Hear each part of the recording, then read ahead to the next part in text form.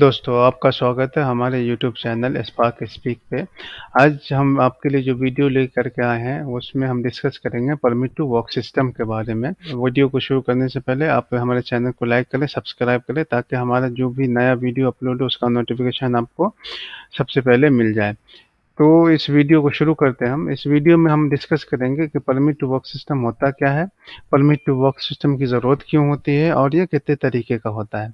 तो पहले बताते हैं परमिट टू वर्क सिस्टम होता क्या है। तो परमिट टू वर्क सिस्टम किसी भी ऑर्गेनाइजेशन के द्वारा एक स्टैंडर्ड ऑपरेशनल प्रोसीजर होता है जो भी कोई भी ऑर्गेनाइजेशन यूज़ करती है किसी भी काम को ऑथराइज करने के लिए। जो भी नॉन रूटीन और हजारटस काम है उनको ऑथराइज करने के लिए एक परमिशन दी जाती है। किसी भी एम्प्लॉय को। और उसमें जो है ये जो परमिट परमिट सिस्टम जो होता है वो डिज़ाइन ही किया जाता है कि एम्प्लॉय को प्रोटेक्शन देने के लिए किसी भी हाजरटस सिचुएशन में। और इस परमिट टू वर्क सिस्टम में जो परमिट होता है ना उसमें ना स्पेसिफिक इंस्ट्रक्शंस होते हैं जो, जो काम के नोयत के हिसाब से होते हैं उसके नेचर के हिसाब से होते हैं टाइमिंग के हिसाब से और वर्क प्लेस के हिसाब से होते हैं। साथ में इसमें जो क्रिटिकल सेफ्टी प्रोसीडर्स है ना उसके बारे में भी इंफॉर्मेशन दी, दी जाती है कि कौन कौन सा सा सेफ्टी प्रोसीजर यहाँ पे फॉलो किया जा रहा है। अभी इस सवाल होता है परमिट टू वर्क सिस्टम क्यों चाहिए? ये परमिट टू वर्क सिस्टम है किसी भी ऑर्गेनाइजेशन को एक कांस्टेंट नज़र रखने के लिए, किसी भी वर्क फ्लो पे कांस्टेंट नज़र रखने के लिए ज़रूरी होता है। और ये चूँकि वेल डॉक्यूमेंटेड होता है तो किसी भी ऑपरेशन को करने के लिए, कारगर तरीके से करने में मदद करता है, साथ में जो है सेफ्टी में, आउटकम्स है ना, उसको भी कंट्रोल करता है। साथ में क्या है, इसमें ज़्यादा सुरक्षा प्रदान करता है, ज़्यादा अकाउंटेबिलिटी प्रदान करता है और इसको ज़्यादा एनालिजेशन का तरीका देता है। अब ज़्यादा सेफ्टी कैसा कि जब भी permit to work permit issue होता है तो ये इंश्योर हो जाता है कि जो भी पर्सनल वहाँ पे काम कर रहे हैं, वो वेल इक्विप्ड हैं, उनके प्रॉपर पीपी है ट्रेनिंग भी बढ़िया है इक्विपमेंट्स भी जो है वो प्रॉपर एडुकेट इक्विपमेंट्स हैं उनके पास। साथ में उनको जो उस काम से रिलेटेड जो भी खतरे हैं, जो भी प्रोसीजर वो बराबर से समझा दिया गया है। अब अकाउंटेबिलिटी ज़्यादा कैसा होती है कि ये जो permit to work system authorize करता है किसी भी कॉन्ट्रैक्टर को, किसी भी एम्प्लॉय को एक काम को स्पेसिफिक काम को करने के लिए टास्क को करने के लिए। और permit return permit to work लेने के बाद भी अगर कोई इंसिडेंट या नेर मिस होता है तो इसकी सीधी सीधी रिस्पॉन्सिबिलिटी उस कंपनी की होती है। और एनालिजेशन करने में इसमें जो परमिट टू वर्क जो है एक डॉक्यूमेंटेड डेटा है। डॉक्यूमेंटेड डेटा रिटर्न डेटा है, जो रिकॉर्डेड डेटा है। तो इसमें जो है समझ आती है कि ह्यूमन एरर जो भी कुछ हुआ है ह्यूमन एरर को समझ होती है। साथ में जो भी पॉसिबिलिटी होती है बेटर ऑपरेशनल प्रोसीड्यूर्स को लेने की या फिर बेटर सेफ्टी इक्विपमेंट्स को लेने की, वो समझ आती है इसकी वजह से। फिर चलते हैं अभी परमिट टू वर्क सिस्टम कितने टाइप के होते हैं। अभी टाइप्स ऑफ़ वर्क परमिट क्या होते हैं? तो अलग अलग कंपनी में अलग अलग हो सकते हैं परमिट टू वर्क के से, ये नंबर्स कहीं पे तीन भी हो सकते हैं, कहीं पे पाँच डिपेंड करता है उनका नेचर ऑफ़ वर्क पे।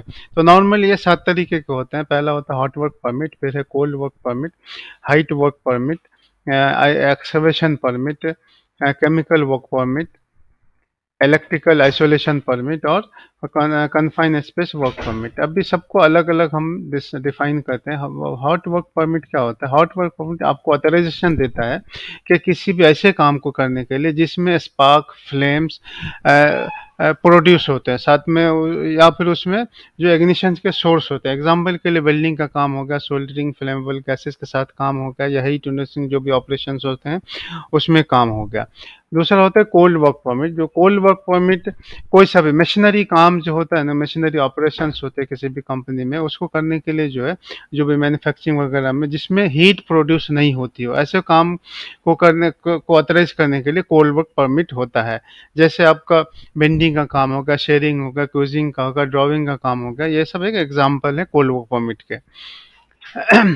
फिर है height work permit height work permit कोई भी एलिवेटेड वर्किंग प्लेटफॉर्म पे जो काम होता है ना, जो दो मीटर से ऊपर हो, इसको ऑथराइज करता है ये परमिट उसको ऑथराइज करने के लिए हॉट हाइट वर्क का परमिट दिया जाता है कि दो मीटर के ऊपर का जो भी काम है, चाहे वो लेडर से करना हो चाहे स्कॉफोल्डिंग से करना हो, या फिर उसके लिए हम एमईडब्ल्यूपी यूज़ करते हो, या वो मोबाइल एलिवेटेड वर्किंग प्लेटफॉर्म जो था वो यूज़ करते हो हम. तो इस काम को ऑथराइज करने के लिए जो हाइट वर्क परमिट इशू किया जाता है.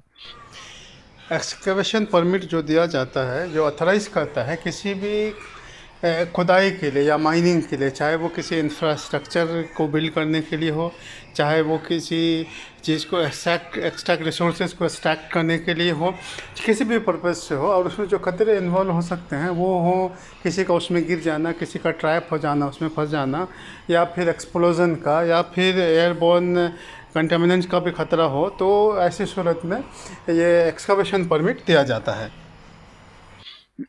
कन्फाइन स्पेस परमिट आपको ऑथराइज करता है ऐसी जगह पे काम करने के लिए जो नैरो स्पेस हो और जहाँ पे सांस लेने में दिक्कत हो सकती हो और वहाँ पे चांसेस हो टॉक्सिक या फिर हार्मफुल गैसेस अकोमुलेट हो सकती हो। जैसे आपका हो गया सीवरेज हो गया वेंट हो गया शाफ्ट हो गया टैंक हो गया, इन सब पे काम कन्फाइन स्पेस परमिट है, वो उसको ऑथराइजेशन देता है ऐसे कामों को करने के लिए। केमिकल वर्क परमिट ये ऑथराइज करता है आपको कोई भी केमिकल सब्सटेंस के साथ काम करने हार्मफुल केमिकल सब्सटेंस के साथ काम करने। या फिर केमिकली इंड्यूस एटमॉस्फेयर जो होता है, जो टॉक्सिक बाय नेचर टॉक्सिक या क्रोसिव बाय नेचर हो उसको काम करने के लिए ये ऑथराइज करता है। जो भी केमिकल इंजीनियर्स वगैरह हैं, वो मोस्टली जो केमिकल प्लांट्स लैब में काम करते हैं तो उनके लिए ये ऑथराइजेशन चाहिए होता है।